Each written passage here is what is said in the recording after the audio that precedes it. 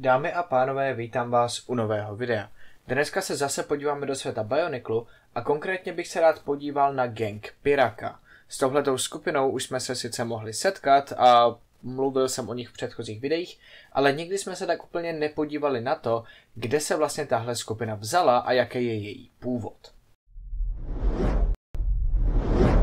Tenhle gang z Cagdiu zná velká většina fanoušků Bioniclu, protože jsou to v podstatě hlavní záporáci pro tým Toa Inika, kteří patří mezi ty dost oblíbený, řekněme, týmy. Nechci tady znova úplně rozebírat celý ty jejich boje s týmem Toa Inika, na to se když tak můžete podívat vpravo nahoře, kde budete mít odkaz na příslušný video a i na celý playlist, kde jsou i další videa z Bioniclu, ale dneska bych se rád podíval spíš na to, kde se tahle skupina vzala a jak vlastně vznikla, protože jednu dobu značná část z nich sloužila takzvaným temným lovcům, tedy organizaci žoldáků, nájemných zabijáků a zlodějů, o kterých už jsem dřív taky točil video, odkaz bude opět vpravo nahoře, a členové gengu Piraka pro ně jednu dobu pracovali.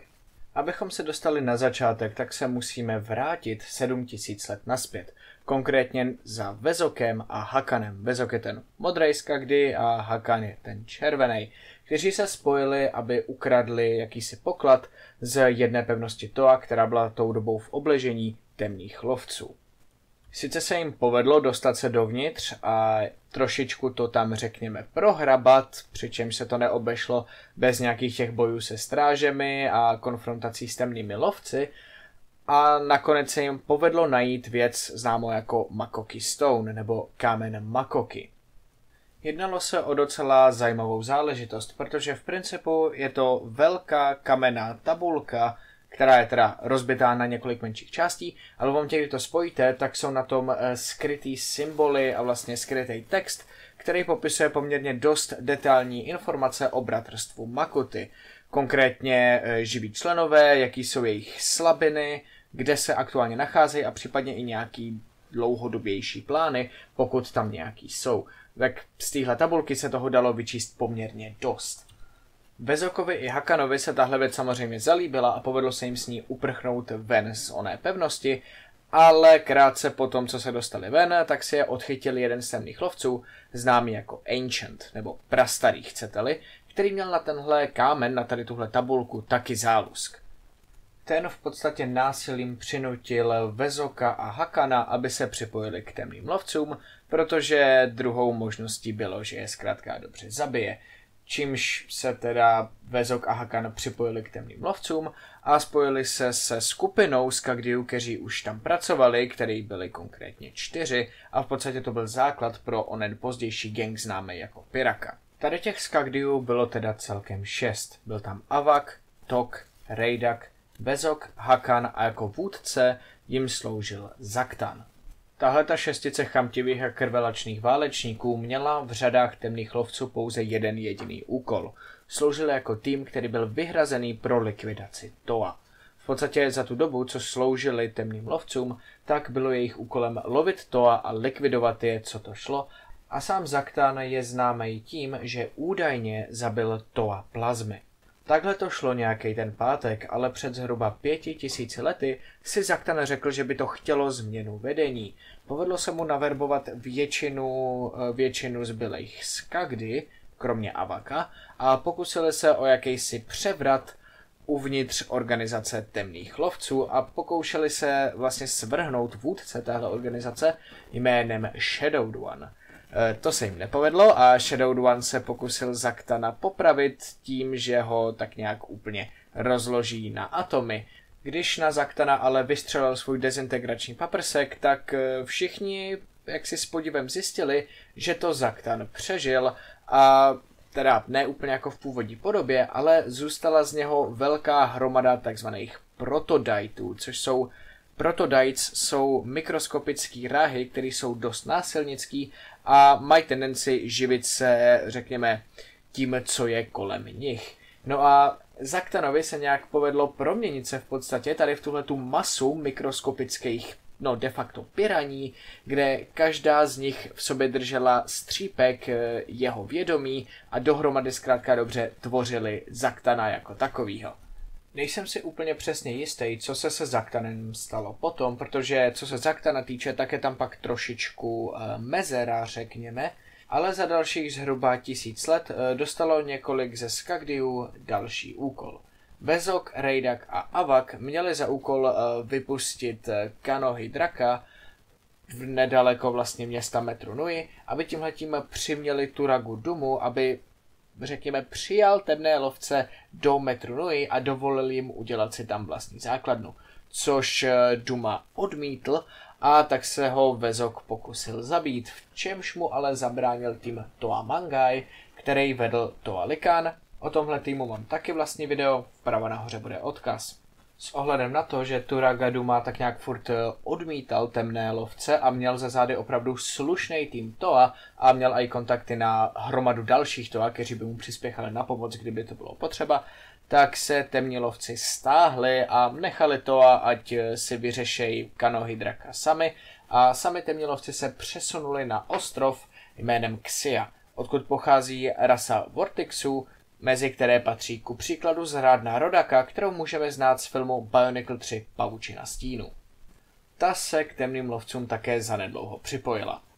Temní lovci se i nadále snažili získat nějaký ten vliv v metru Nui a zase po pár stech letech, možná i víc, tam ty časové linie tam nejsou úplně přesně jasný, eh, tak se rozhodli pro jeden poslední, řekněme, pokus. Zase vyslali jednoho z našich skagdiů jménem Tok, aby unesl Turagu Dumu, aby ho mohli mít jako rukojmi a přenutili město celý, aby se vlastně vzdalo ochrany to a přijalo je jako svoje ochránce, řekněme, a tak podobně. No a vzhledem k tomu, že Tok to zvoral a nepovedlo se mu unést Turagu Dumu, eh, tak tohle byla v podstatě taková poslední kapka pro Shadow One, aby ztratil veškerou trpělivost a zkrátka dobře nakázal temným lovcům, aby zaútočili na město vším, co mají. I přesto, že zpočátku tahle operace vypadala úspěšně, řekněme, tak městu přispěchali na pomoc Toa a byly jich doslova stovky, což nebylo zrovna ideální. Byla to opravdu masivní armáda temných lovců proti opravdu masivní armádě Toa. Po několika měsících bojů se povedlo Hakanovi přistihnout vlastně konverzaci mezi Eh, Toa Nidíkim a některými temnými lovci, kde Nidíky jaksi eh, nabízel temným lovcům, že zavede většinu Toa do pasti, kde je budou moc temní lovci bez problému zlikvidovat. To, co ale Hakan zjistil v zápětí, bylo, že Likan tohle, řekněme, jednání sleduje taky. Hakan se rozhodl, že nepůjde varovat temné lovce o tom, že vlastně o celém tady tomhletom jejich plánu ví jeden z předních Toa v metru Nui, a důvod byl takový, že on patřil k těm, kteří Zaktanovi pomáhali s tím velkým pokusem o převrat, sice už je to nějaký ten pátek zpátky, ale temní lovci tak úplně nezapomínají. Takže Hakan se před nima schovával a bál se jim to jít říct, protože se bál, že tak nějak přijde o hlavu, řekněme, a proto se domluvil s Likanem. Pokud Likan nechá temné lovce odejít, řekněme, bez problémů z Metrunui a pouze je vyštve místo toho, aby je povraždil, eh, tak mu Hakan dá onen kámen Makoki, onen Makoki Stone, který je schopný sebrat temným lovcům.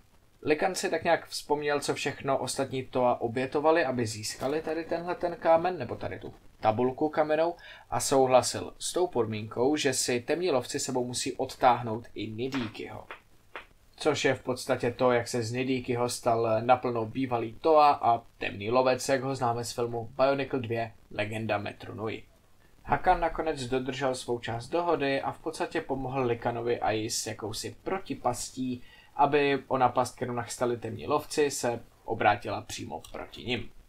Potom tady máme hodně velký časový skok, vlastně jenom kousek do minulosti, řekněme, nějakých 200-250 let naspět, Sice už to je po velkém kataklizma, ale je to vlastně relativně nedávno v celkovém kontextu světa Bioniklu, kdy probíhala otevřená válka proti bratrstvu Makuty.